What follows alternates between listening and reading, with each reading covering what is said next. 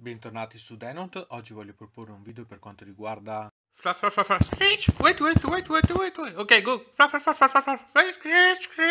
Ehi, cosa è successo? Ok, ok. Comunque, questo è un video che porterà a vedere quello che è un modo per monetizzare e anche convertire i Terradon, portando anche a vedere la comparazione di questi Terradon attuali, diciamo, con quelli che sono i precedenti in metallo sempre rilasciati dalla Games Workshop, così da poter vedere effettivamente quanto e come sono cambiati. Quindi ora possiamo cominciare a vedere effettivamente come è stato fatto questa conversione.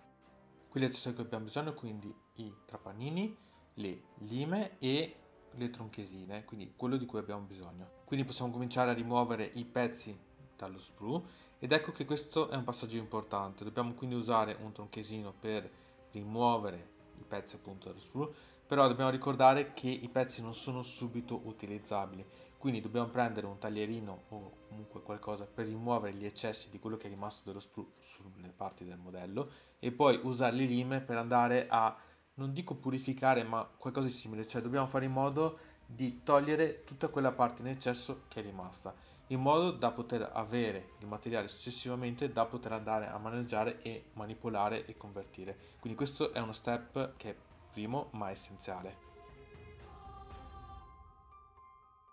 Quindi prendiamo i vari pezzi e proviamo ad assemblarlo temporaneamente, magari usando anche del Patafix se serve. Questo è un modo per capire effettivamente come il modello va assemblato e soprattutto vedere se ci sono dei modi per andare a convertirlo ed eventualmente monetizzarlo o altro, quindi comunque avere un test iniziale per capire effettivamente come procedere.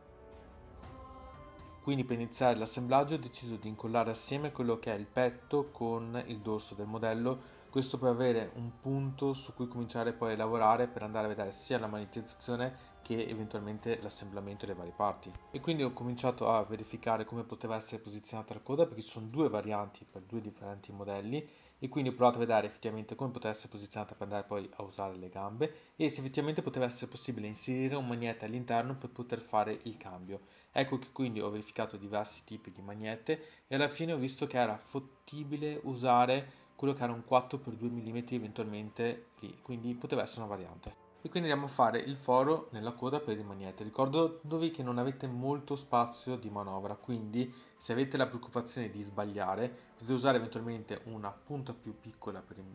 trapanino che andate a usare, in modo da usare quella per fare una guida e poi andare a cambiare la punta e quindi aumentare le dimensioni del foro. Vi ricordo che dovete usare lo stesso verso le magnete, quindi usate eventualmente un modello di riferimento per i magneti in modo da avere sempre lo stesso ed ecco che poi vi consiglio eventualmente di usare un magnete più grande per andare a usare come punto d'appoggio per inserire le magnete all'interno del modello perché appunto in modo da avere più grip e più pressione sullo stesso. È venuto quindi il momento di andare a mettere il magnete anche nel corpo in modo da poter tenere la coda. Ecco che quindi ho provato diverse combinazioni a provare addirittura ad allargare di più la parte all'interno del busto in modo da rendere più comodo l'alloggiamento del magnete, ma mi sono reso conto che la coda, soprattutto quella lunga, era troppo pesante, quindi alla fine ho dovuto lasciare questo progetto e monetizzare la coda.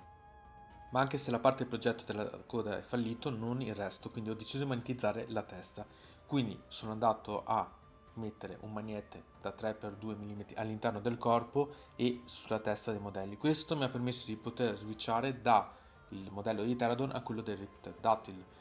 quindi mi ha permesso di fare in modo, dato che questo modello è caratterizzato principalmente dal cambio della testa, di poter utilizzare una variante o l'altra in base a quello che era diciamo, preferita da parte mia. Ecco che in questo caso l'unico problema che si viene a porre è la pittura perché dovete dipingere la testa andando a ricollegare i colori con cui avete dipinto il corpo per la testa e il corpo, quindi dovete fare solo attenzione a quel punto.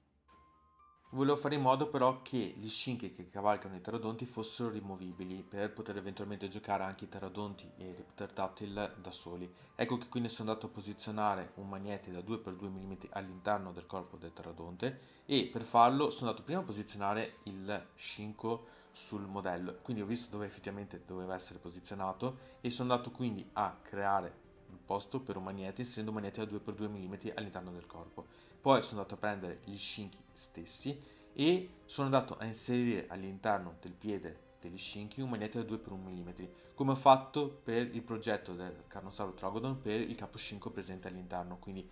questa volta però su dei piedi un po' più piccoli, ma ancora ottimi.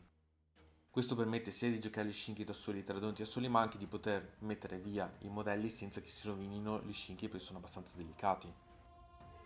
Questo box permette di utilizzare uno di questi modelli sia come Shinko campione su Pterodattilo o Pterodattilo, ma anche come capo Shinko su questi modelli. Quindi ho deciso di andare a monetizzare il corpo di uno di questi modelli mettendo all'interno del corpo e della testa manetta 2x2 mm in modo da poter switchare tra una e l'altra opzione. I miei modelli avevano una basetta di quelle precedenti quadrate, quindi ho deciso di andare a cambiarla e usare quindi quella nuova usando una basetta MDF da 50 mm proveniente dalla Green Star World, perché mi serviva una basetta economica ma allo stesso tempo che fosse personalizzabile.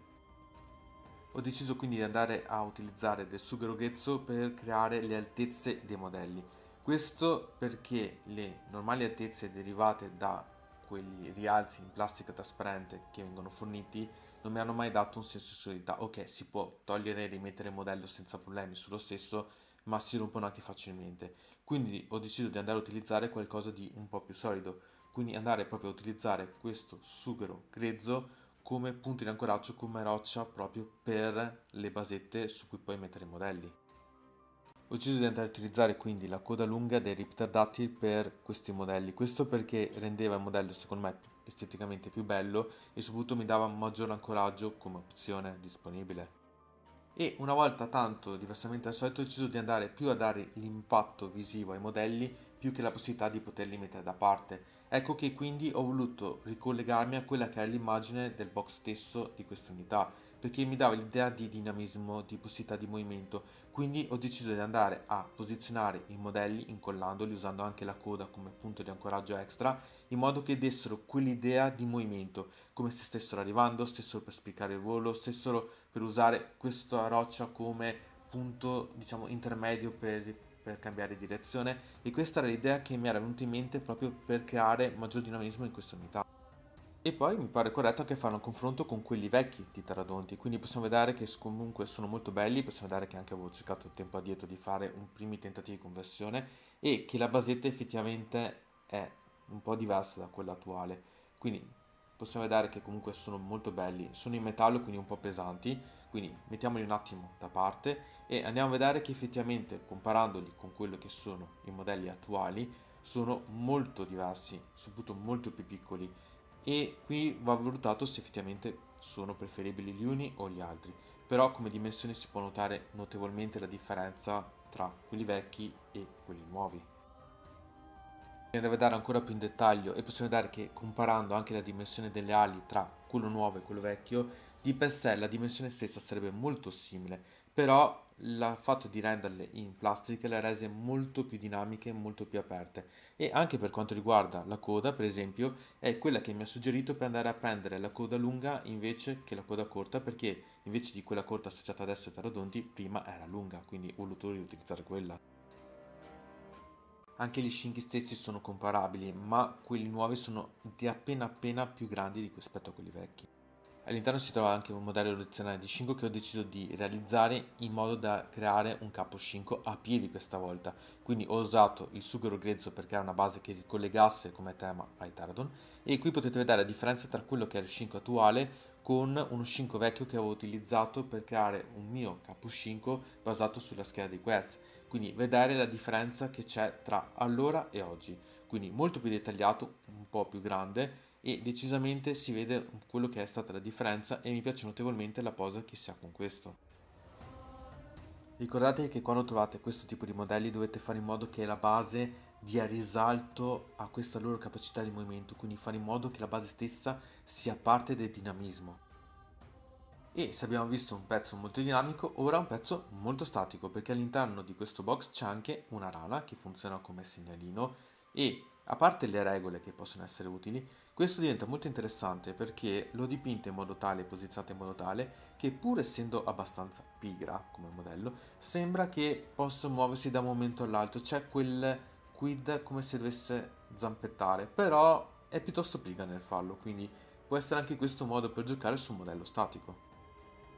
Mi sono divertito veramente tanto con questo modello perché permette di avere veramente tante diverse opzioni, quindi se vi interessano i Seraphim questo sicuramente sono dei modelli da prendere e da convertire, ma anche se volete realizzare qualche diorama, qualche modello un po' particolare, qui avete veramente tanto da poter sfruttare perché vi dà veramente tante diverse opzioni molto interessanti. Ad ogni modo, Da Dynamod per questo video è tutto. Vi invito a mettere mi piace, a iscrivervi al canale, a suonare la campanella e a lasciare un commento se siete interessati ad avere specifiche e ulteriori video riguardo questo tipo di video oppure se siete interessati a semplicemente segnalarmi qualche domanda o qualche video a cui potete essere interessati. Da Dynamod è tutto, alla prossima!